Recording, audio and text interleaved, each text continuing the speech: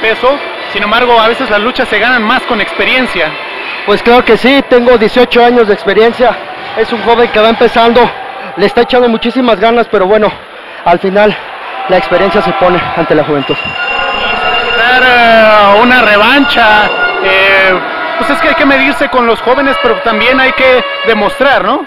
Pues sí, hay que demostrar y ahorita demostró que tiene buena calidad y escuela. Pues vamos a darle la revancha y a ver qué sale después de esta, esta lucha de revancha.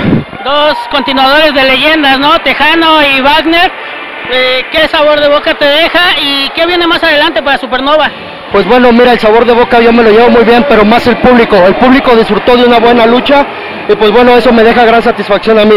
Lo que viene para Supernova son unas rivalidades, buenos retos, concluirlos y ya después de ahí ver qué es lo que sucede.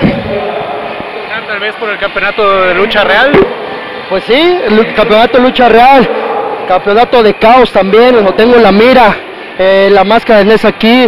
Eh, hay muchas rivalidades que se tienen que concluir en este año empezando el otro. Entonces, gracias a Dios están dando muy bien las cosas dentro de mi carrera y pues vamos a concluir eso.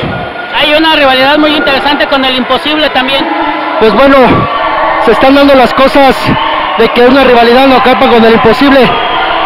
Hace, hace unos días él me defendió en Monterrey en contra de los de Caos. Pues bueno, está en la balanza a ver si hacemos buena pareja o si se sigue dedicando a hacerme el mal.